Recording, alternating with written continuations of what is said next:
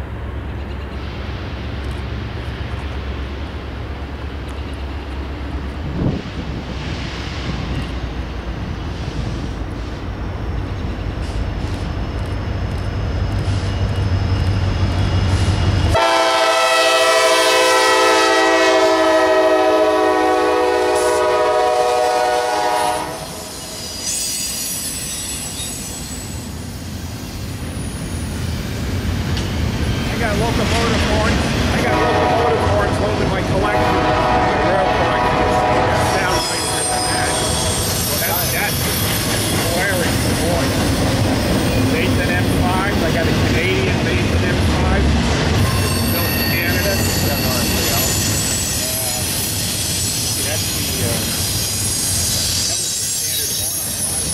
we got one of those. I got an SL5A, SL5.